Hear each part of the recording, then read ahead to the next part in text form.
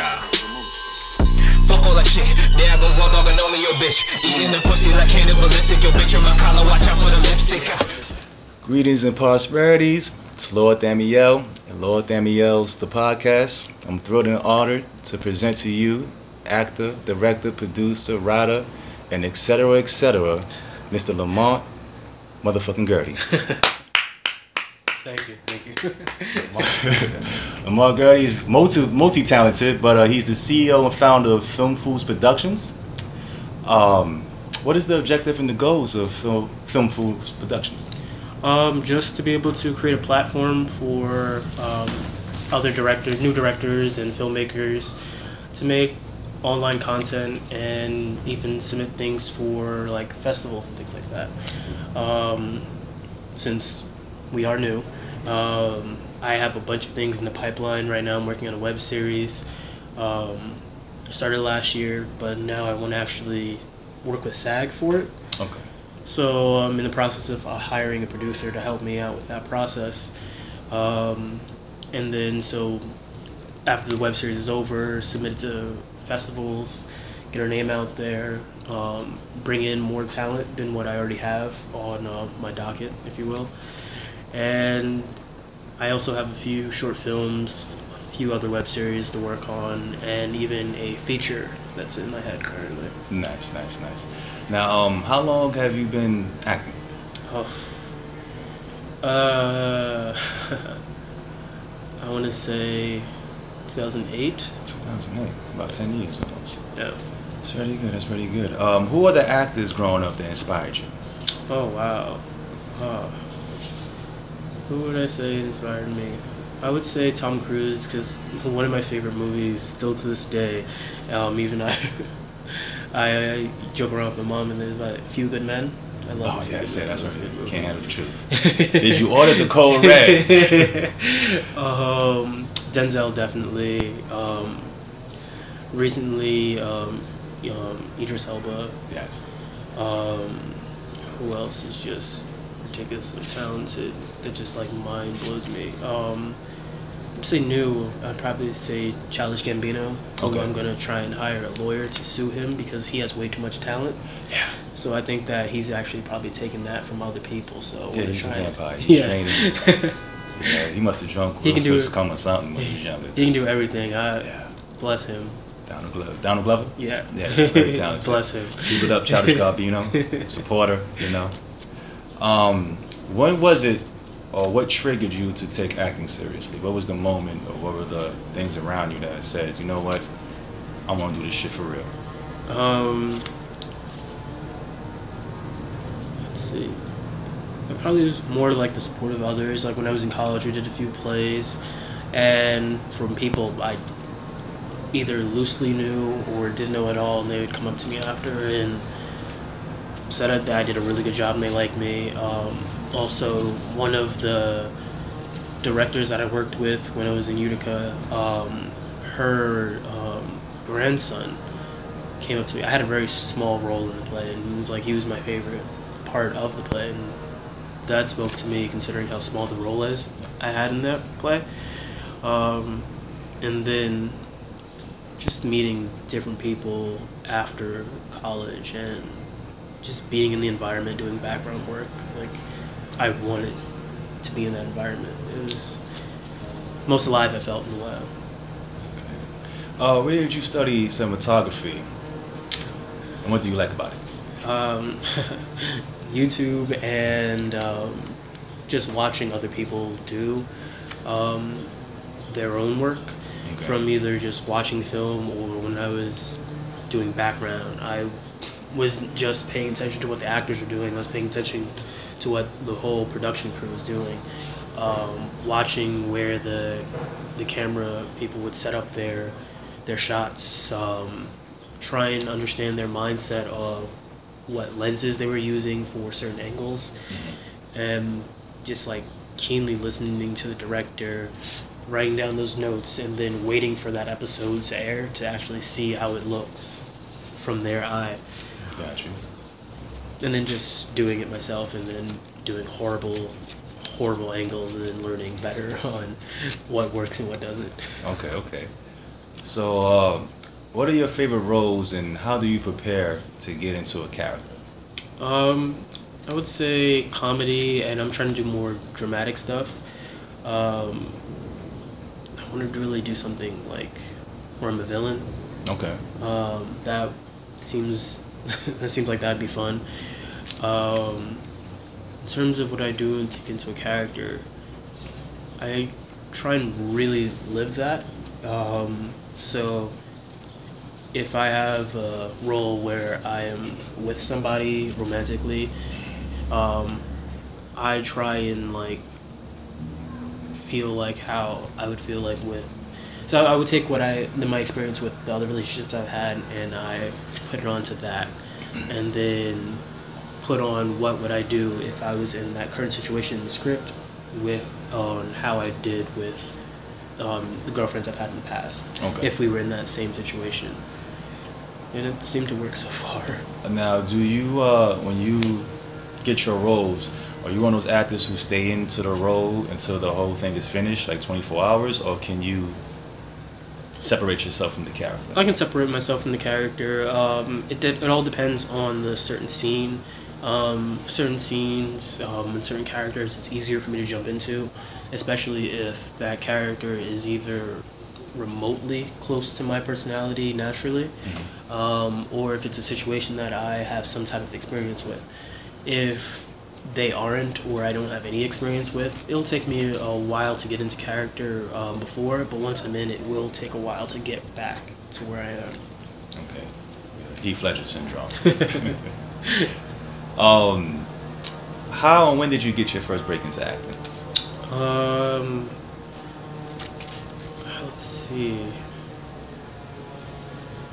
I'm saying like my first like semi big break would have been, I think it was either two or three years ago, when I got two um, off Broadway shows right off the bat, and had a pretty good crowd, and again more people who I didn't know came up to me and ex- ex- expressed um, how well I did and how enjoyable the whole experience of the show was. And it just motivated me more. And I would say it was more so the second off Broadway show that I had um, with the director George Trim. Um, he was trying to start this whole series. He wrote a book, he made a play, and um, I don't know if he's still doing the movie for it, but it was a great experience working with him and doing that. Um, can you explain like the the nerves and the whole experience the first time you performed? It's weird. I've also done um, sports in um, in high school and some college, and it's somewhat the same. Okay. Um, that nerves before like a big um, event or meet, or and then going on stage. It's butterflies, and for some people, I guess it makes you nervous. But for me, it kind of is like fuel Okay. because that moment before you step on stage or if you step on to, to the track i ran track um, it's it's like a concentrated focus because you're so internalized and you just you stop being aware of everything around you. So if you're on stage it's just that bright light and then everything around you is dark. And then it snaps into focus and then you're just there and then in terms of like running it's again everything's quiet you set up you get down and then boom you go and so it, it helps me focus and it's like a nervous fuel i want to say Yes. so yeah it just helps drive at least drive me forward i don't know how it works for other people but All right. So you basically you you uh, pressure feeds you. yes Uh, pressure does the opposite effect what it does to most mundane people. That, that you call that a star. um, can you explain the mindset and the determination needed to pursue your goals? you have to be almost um, one-minded Mhm. just because there are a lot of obstacles that happen and you also have to stop comparing yourself to other people because there are some people who either are lucky and talented talented or just lucky Um, and to make it in this business, or and for the most part, most businesses, you have to be somewhat lucky. And a lot of people think that luck is this magical thing that has been gifted by the gods, but luck is given to people who put themselves in the right situation. So you have to be patient with it because there are some people who will be able to find a great audition at the right time, submit at the right time, so they're able to be seen at a certain um, time slot, and the casting director loves them, and because they haven't seen someone who can do the similar a similar performance Yes. earlier on, and then they become in love with that person, and that role can promote them, can push them into meeting a good agent or into a great situation, and so you just have to keep playing the numbers Okay. and just stick with it because there are going to be ups and downs. Like even if you start off really high and get everything you want right away, there's going to eventually be a low point. But as long as you keep pushing with that same energy you had when you started, that low point's not going to last that long. Okay. Um, I want to talk about your younger years if we can. Okay. And I want to know how was it growing up, um, and did you have a good support system around you? Oh, yeah. I had a very good support system to the point where it was annoying. um, my mother was all about education and other things, um, mostly education. Um, she tried to support me for like my extracurriculars for sports and things like that, but her main focus was um, education. And the moment I was struggling with anything in school, mainly math, because I hate math and it was horrible, Yes. um, she would instantly either put me in some type of program to do that or talk to a teacher for them to figure it out. Did you go to the, the Saturday school in St. Raymond's High School? I had to go to that. I did that a few times. Yeah. I also did a bunch. Um, I did the Huntington Learning Center. Yeah, me too. That was crazy in the summer. I did Kumon.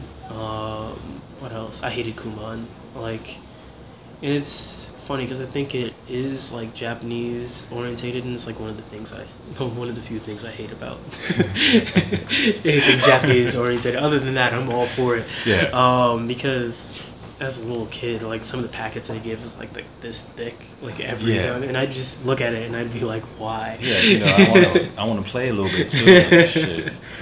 But yeah, um, mom always supported me for everything that I did. Um, plays that I went to, she'd make sure to get as many people as possible to get there, um, and she'd be supportive for all almost all of my decisions. Even if she didn't like it at first, she would try and figure out a mindset, uh, either a compromise between the two of us, or figure out a way how it would still benefit her. in the Okay. long run.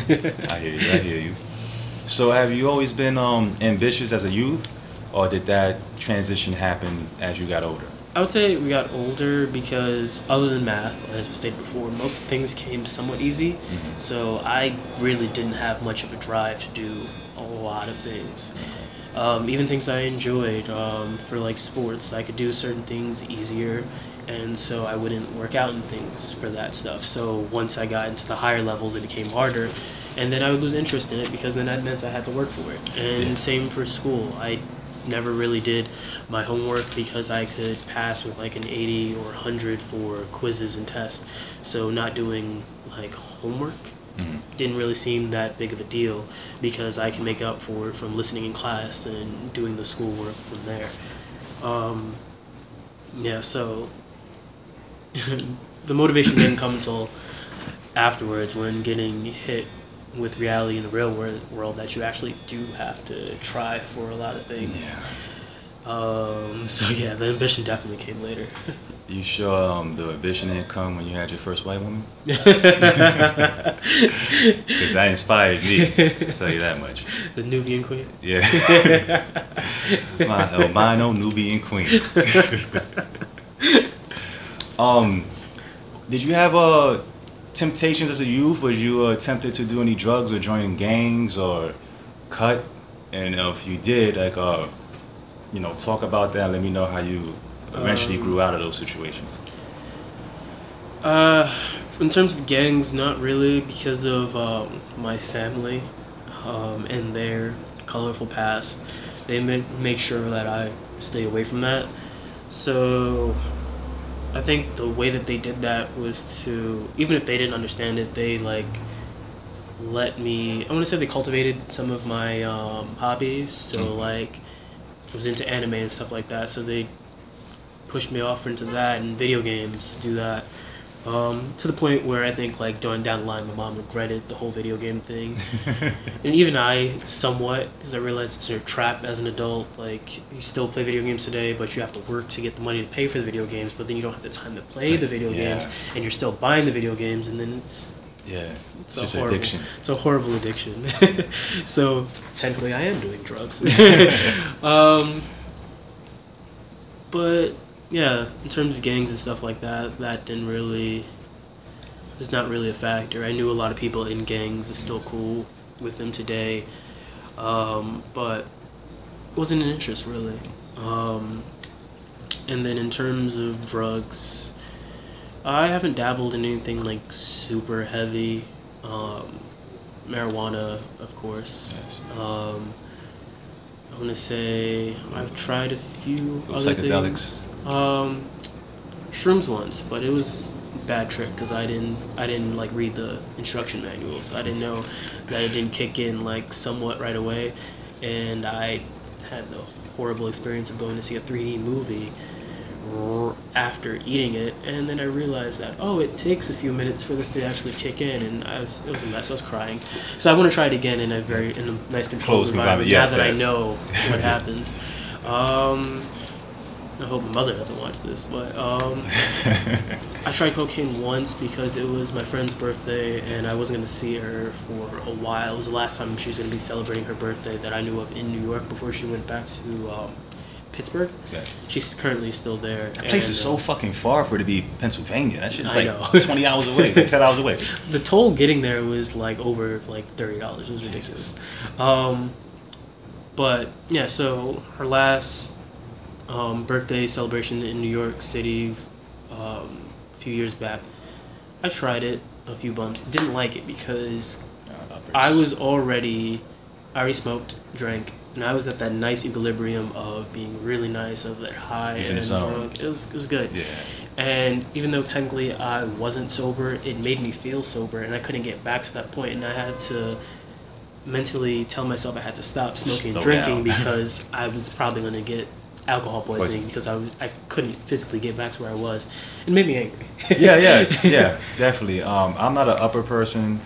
Um, to me, cocaine is good if you're really getting drunk and shit, and you're like at that fucked up point. And then you have to like probably do something. Yeah, and you got to go home. Like you Mhm. go to Co-op City, you take that bump, and you know keeps you up for the ride. Yeah, so that did help me get back home. But yeah, I But, agree with you. It, it Um, totally, I'll never do it again. it totally fucks. It's like drinking coffee. It's like no, I want to feel euphoric. I don't want to be up.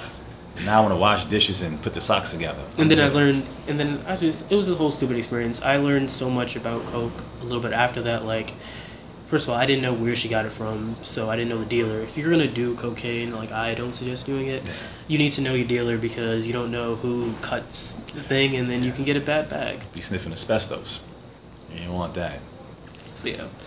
So in terms of drugs, I'll stick with my alcohol and uh, marijuana. So the weed, the ganja, the Mary Jane, Yes. all that good stuff. Now, if we can. I would like to get a little, you know, intimate.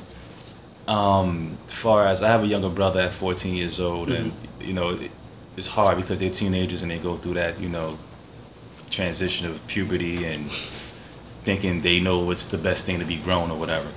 So, um, if you could talk about your family for a minute, Mhm. Has what happened to your father motivated you, inspired you to stay on the right path? Because most kids, you know, they have bullshit gangsters in their family and it keeps them in this middle path of fuckery. Yeah. But when you have the realness, like you say, even with your mom's and your mother's family, it's like, no, you know, you're going to do this, and you know, and I could see like in your DNA, you really cool. Like you don't really have, you, you're good in your skin. You're comfortable in your skin. So did that tragedy help you stay on the right road, or was it just more of you know your your your family? I would say it was more of my family. Um 'cause because like after that tragedy, I would say I was pretty much if I was coasting before, I was coasting even more after that. How old were Um, you? I was 13. Your father 12, passed away? 13, yeah. How old are you? I am 27 now. I had for- I almost forgot. I thought it happened before you was born. I'm sorry. No, no, no. Oh wow. So you was in the mix of it. Yeah. Yeah. Well, I told you. Um, I know. I don't know why, because we was fucked up that day. But I remember you, you broke it down to me real quick. Never forgot it. And then like ten years later, he was like, "You ever heard of BMF?" I was like, "Yeah, I heard of BMF." He was like, "Yeah, yeah, I'm exactly." So, bro, I'm sitting on the couch, um, smoking weed, and somebody sent me the goons of the industry. I don't know if you've ever seen this shit, Lamar. I, I think I have. and I'm smoking, and it's like four or five sections. So they'll start with like say King Tut mm-hmm. and niggas that shot Pac and Rob Pac and shit.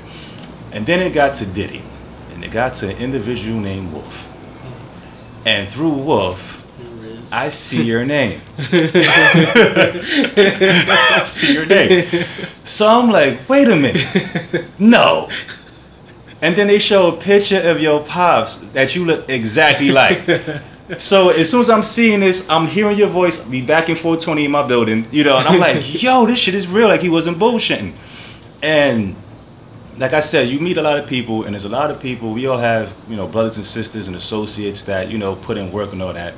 But it's rare when you get those real people, you know. And all I could say, you know, I, I never met your father, whatever, but he seemed like a real loyal motherfucker, maybe to a fault, you know. Definitely. But I see that's in your bloodline too. You're not a bullshit and you're loyal Unfortunately. you know.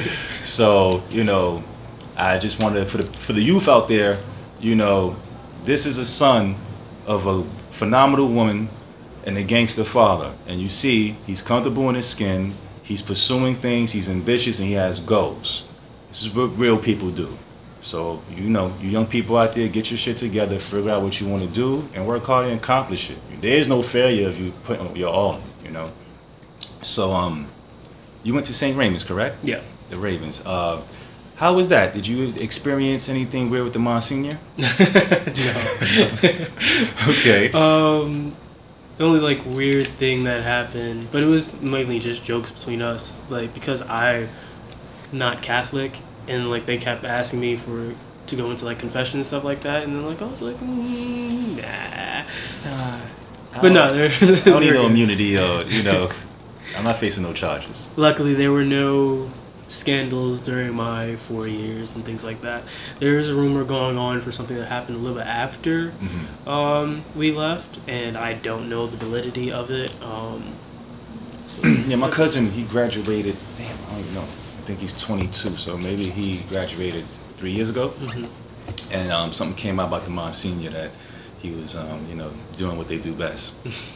And, blessing the young youth. Yes, yes, on their knees. But uh, being a St. Ray's Raven, uh, how did you realize the experience while you was in it, or did you graduate and then look back and was like, "Wow, that was a cool experience," and you know, um, it prepared me?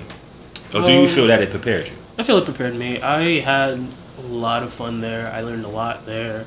Um, the teachers that they had there were are amazing. Um, to this day, I still am in contact with a few of the teachers, um, and I visit every now and then. Um, and I can't recommend that school enough. I had both of my little cousins go there. Um, one of them who just graduated, he didn't graduate there because he eventually moved to Texas, but my other little cousin, he's currently enrolled in St. Raymond's. Um, it's a great school. Um, they actually do care because I've been to a few schools where they say that they care and really only like a few teachers actually give a damn. They got paid. Once the check is clear, you don't give a fuck. Um, but yeah, they. and it's a closed environment, so Yeah. it's more intimate. Yeah. being that. Well, I think they try to they built three floors now on that motherfucker. Yeah, it pissed me off because that school school was good when I went there, but it looks amazing now, and they have so many more programs, and it really pisses me off. Now, I used to go to the summer programs. I, I didn't know. I was like, this is a high school. It's one. It's a hallway. It's a long hallway. But yeah, you know, finally they putting all that tuition money to good use. Mhm. Um, so from high school, did you? Where did you go from high school? Um, I went to Utica College. Uh, That's a uh, SUNY school. No, Okay. a private school. Okay. Um, Yeah, right. How many semesters did you do that for? Two. Two. How was that college experience like? Um, it was pretty good. Um, Did you I catch the clap no, anytime? no, no. I was safe. I was the safest. Um, but I want to say that I don't know if this is just um, because I went to St. Raymond's or the type of school that I went to. Um, in terms of like workload, high school was harder. I want to Mhm. say. Yeah. Um, I heard from a few, few people that it's almost universal that they feel like that. Like high school is harder than um, college. It's just that the hard thing about college is the management of time because you have a lot of freedom in college. like Yeah. almost criminal how much freedom you have, um, and then you still have to get certain um, things done. Like I procrastinated so much on few projects in college, um, where it was a ton of papers, and I did it literally like the hour before, and still got a really good grade on it. And I don't think I would have been able to do that in high school. Yeah, yeah. Um, but yeah, college, I feel like it's more to prepare you for how real life is because when you're an adult, you really don't have somebody like on top of you like you have in high school to do certain things. You just have to get shit done. And if you don't get it done, then it's not going to get done, and then you won't be successful or productive. Um, I learned a lot there in terms of life lessons, and I met a lot of great people, and I feel like that's pretty much the whole reason of college to meet good people, good contacts, and also to learn a few things. Were you pursued by any fraternities? Um, a few. And why didn't you mess with that? wasn't really my thing. Like I, I played around with the idea for two of the fraternities, but Not hazing. I Yeah. just like understand the the brotherhood of it and like the benefits that it brings. But you could do it on your own. Yeah, it just really. just wasn't really my thing.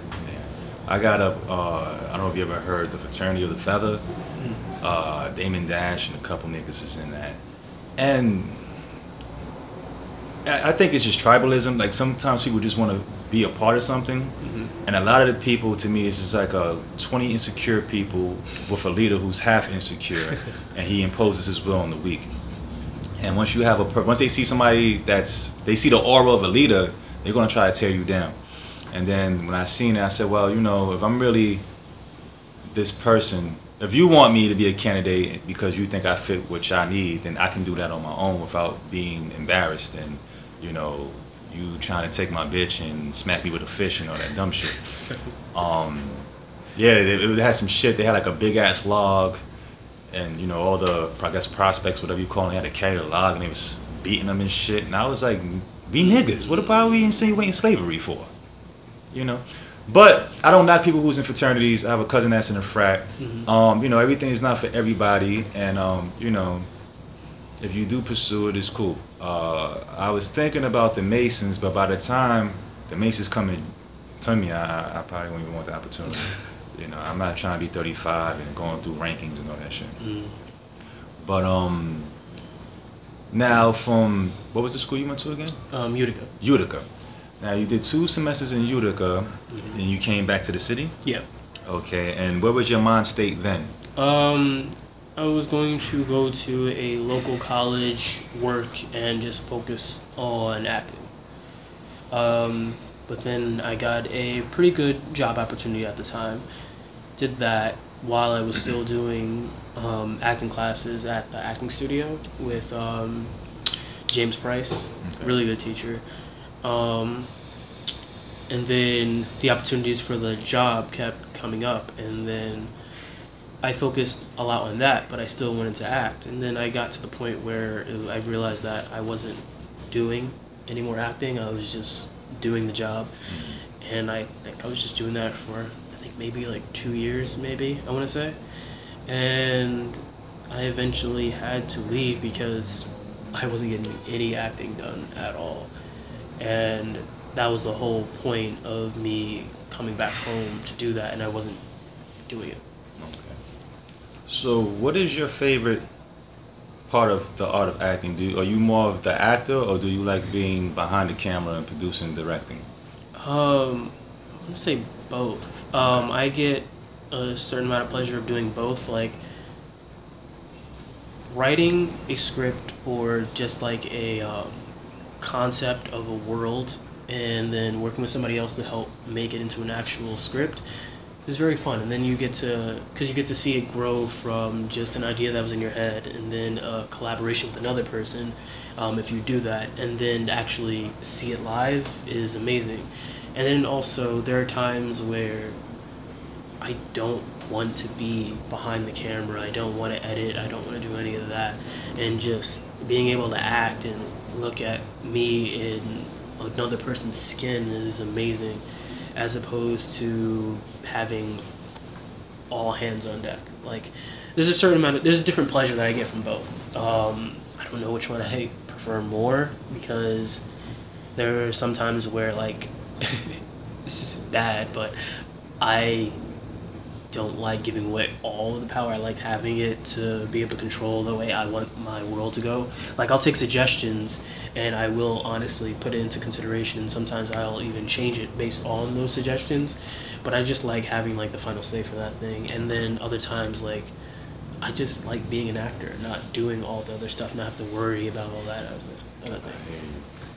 Now, um, do you? How many scripts do you have? Um, not counting the different episodes for the web series extras, I'll just count that as one.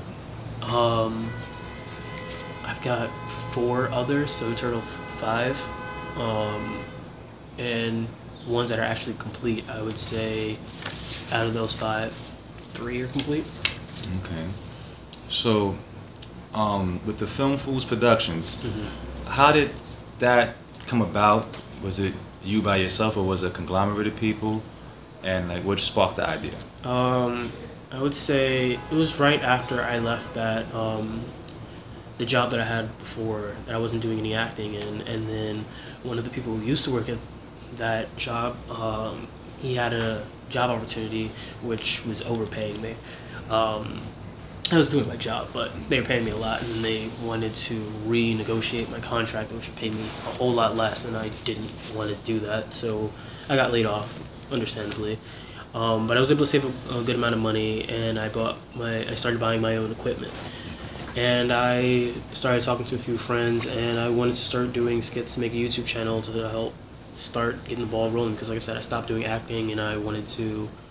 It was my way of like slowly getting back into it by creating my own stuff, um, along with auditioning, and so started doing a few horrible like the, the skits ideas were, were good but like the execution was horrible um, the editing was rough it was just a rough experience on the first few videos um, and then i took a step back didn't really have a full name for it didn't have a full logo i think i went through like maybe 10 logos Mm. until i got to the one that i'm stuck on now um, I like that one, by the way. yeah. I was peeping. I said, "Oh, maybe gonna come up."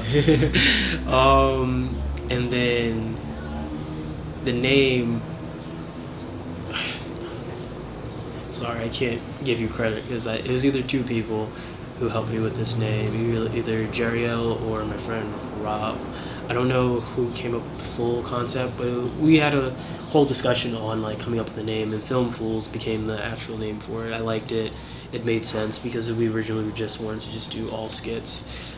Um, and so that's how that got started. Um, even though I took some of the videos off, I kept some of them just to show the progress of how it went from this to that. And I'm proud to say that like the quality of my videos have gone up significantly from those first few videos. you know, as long as you see some progression, you know you're doing the right thing. now, um, do you sit down with your team and, and write things together, or it's a little bit of individualism and then y'all come together and look, I got this and and stuff. Um, it's mostly individualism. Sometimes we do come together and come up with certain ideas. Um, they'll like they'll throw skit ideas at me, or we'll work out some. Um, but for the most part, we all just like come up with an idea, try and perfect it as much as we can on our own, and then bring it off towards everybody else and get their feedback and things like that. Okay. Now, um, what do you want your viewers to, to feel when they watch your work? Anything. If we're doing um, comedy, I want you to get the jokes. I want you to laugh. If we're doing a dramatic piece, I want you to cry. I want you to put your your shoes your feet in the shoes of um, whatever character is going through whatever situation that we have. Um, what do you want your overall legacy to be? Um, it's kind of bad.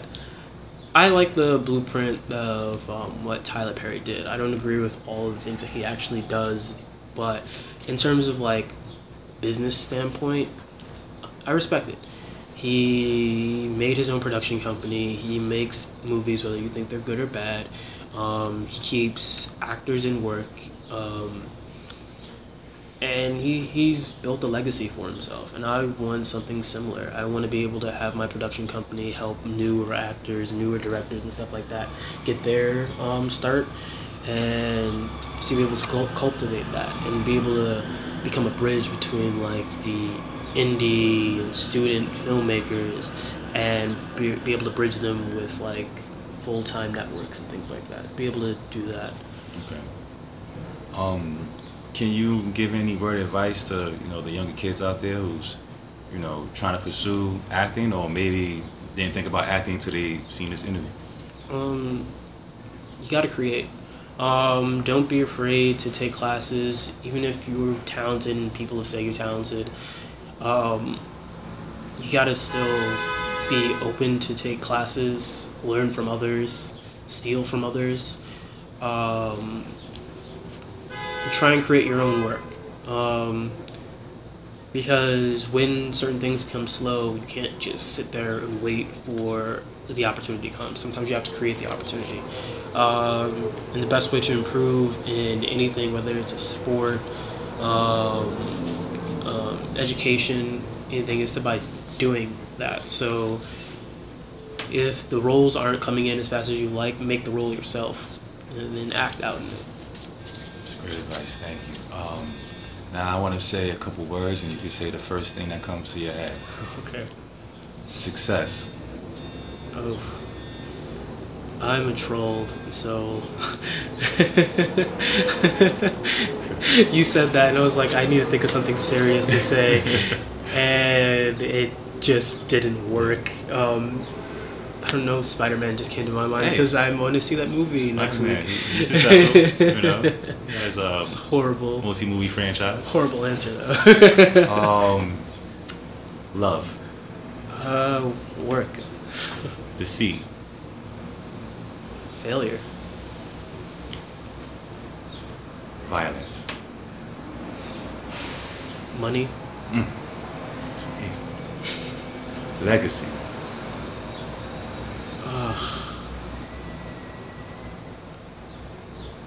Wow. Drew a blank on that one. I have to say family. What's the next thing mm. right now? Yeah, that's a, that's a good one. I thought of that. Um, Lamont Girdy. Entrepreneur. Nice. Nice. Well, this is Lord Thaumiel's The Podcast. Had Lamont Girdy. Thank you for having me. Movie producer, actor, amongst other things, and um, hopefully he'll come on again.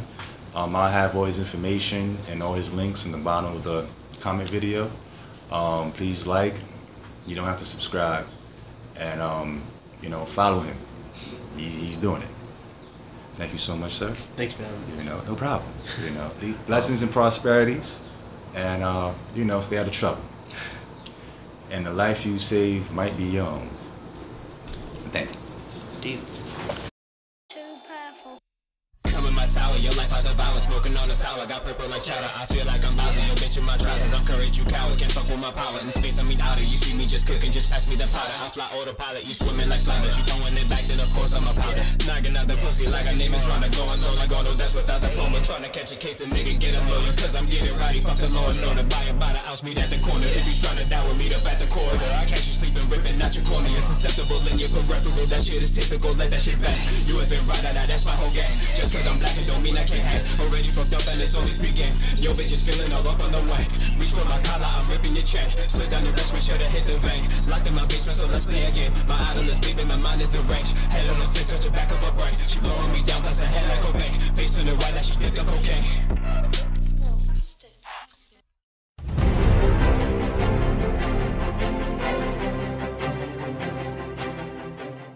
Captain America, this is Mike Hunt here. live with presidential candidate These Nuts. These Nuts, thank you for coming. No, thank you for having me. We are live, so if you have any questions for These Nuts, please tweet them at Film Fools with the hashtag Ask These Nuts. Now, Nuts, can I call you Nuts? Of course, I don't want anybody to feel like I'm unapproachable. I I just want everybody to know that these nuts are for everybody. Out of all the other presidential candidates, you seem the most likable. Why do you suppose that is? I'm gonna answer your question with a question. Now, who doesn't like these nuts?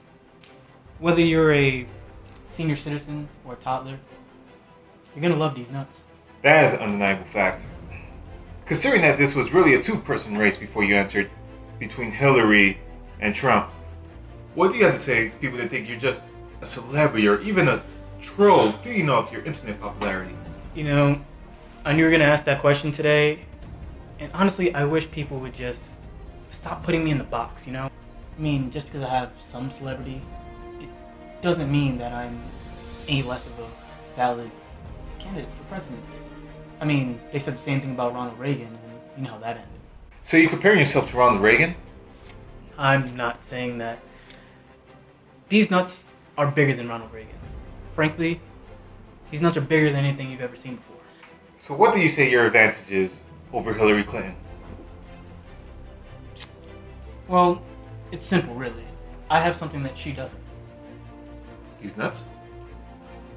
No. I have a simple game plan to turn this country back around. I see. So what's your game plan? Well, it's a simple game plan, really. Nut up or shut up. Frankly, over the past years, America's lost its balls. And who better to get America's balls back than these nuts? Well said. So how do you feel you stack up to presidential candidate Donald Trump? Honestly, I'm not even worried about Donald Trump. He's running his own slander campaign against himself every time he opens his mouth.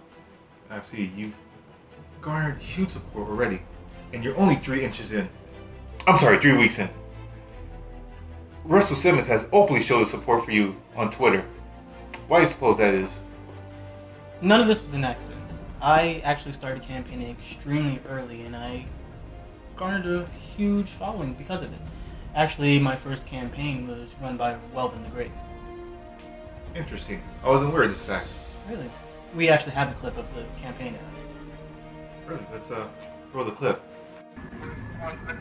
Oh, cause some came in the mail today. I did. These nuts.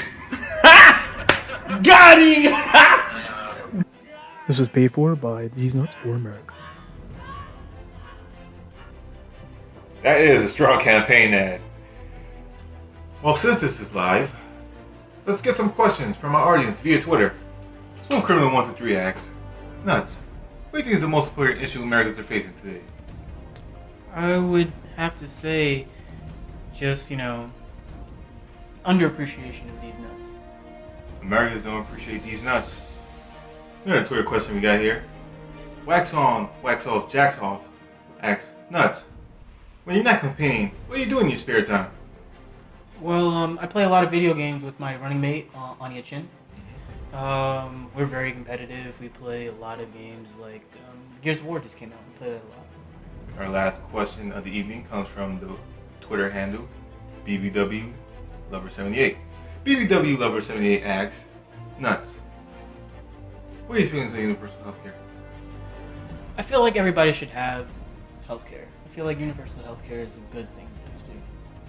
And the fact that people don't want to have it and they're against it, they just sound extremely salty.